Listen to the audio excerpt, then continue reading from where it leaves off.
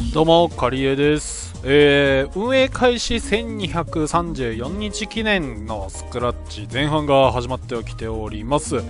えっと、新しく期間限定でラウフェイ、えー、ですね、フェスゲンユニット、水属性ですね、新しいユニットが超絶かける5アップ来てるので、えー、こちら狙って、えー、スクラッチやっていきたいと思います。で、一応ね、今回、まあ、詳細ちょっとさっき見てたんですけど、えっと、通常確率の星6フェス軍は、今回ニコラスいないみたいで、前半も後半もね。で、前半にまだ持ってないベルンが通常確率で出てるみたいなんで、今回は前半を、えー引いていこうかなと思っております。出てきてくれたらラッキーという感じでですね、えーやっていきたいと思います。そんなこと言いながら今までほとんど来たことないんだよね。ほとんどっていうか全然だよな。はい、やっていきたいと思います。ラウフェイがね、とりあえず取れたら、まあ、それでいいかなっていう感じなんですけども、まず一発目、9でいきましょう。1234日記念って、まあ、数字だけ見たら、ね、すごい並びはいいけど、まあまあ中途半端な 記念日ですよね。おーおオール虹だ。これは来たか？あ？あ、これ、あれじゃね？オロチボン村雲か。村雲だ。村雲オロチ。村雲ボンだ。えー、機械娘、あ、てか今回ボンシリーズ出るんだね。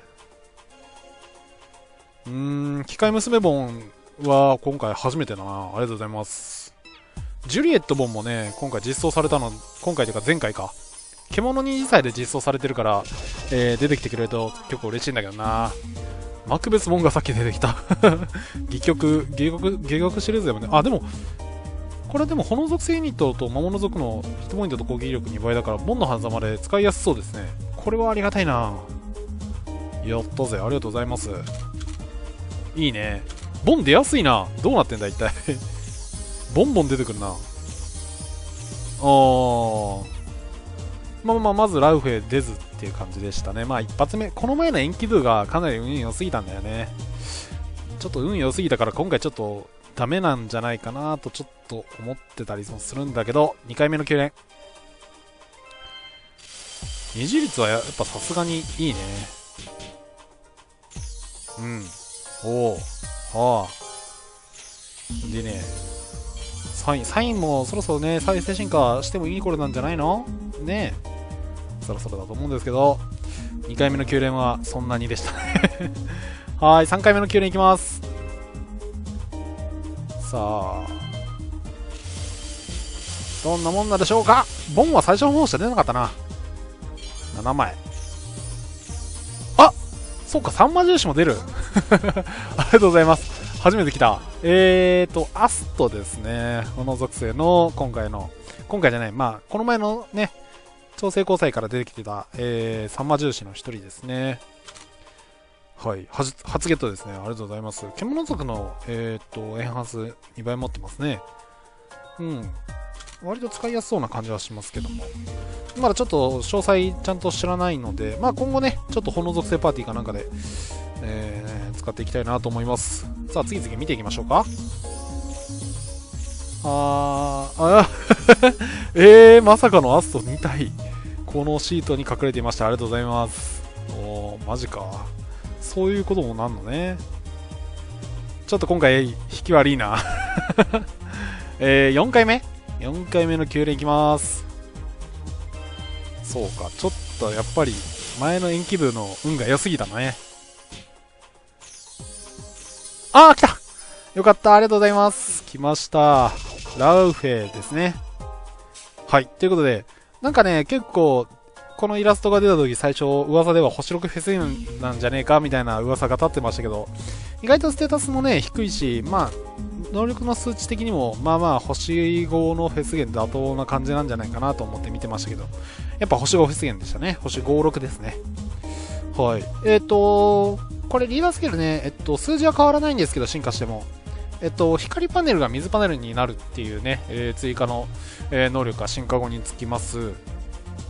で、アクティブスキルは、えーこれ変わらずかな。ゲートハンズですね。ただ、スキルレベル上げる、スキルレベルをマックスにすると、0ターンで、えーこのアクティブスキルが使えるみたいなんで、まあまあ、使いやすいっちゃ使いやすいですね。うん。で、ノーマルスキル1がナール2枚で大ダメージ。多分特大になるのかな？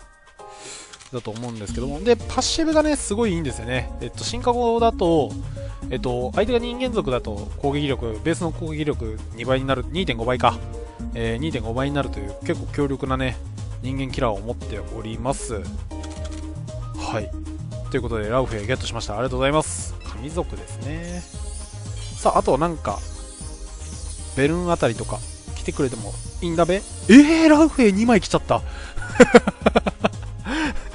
まさかのだよ。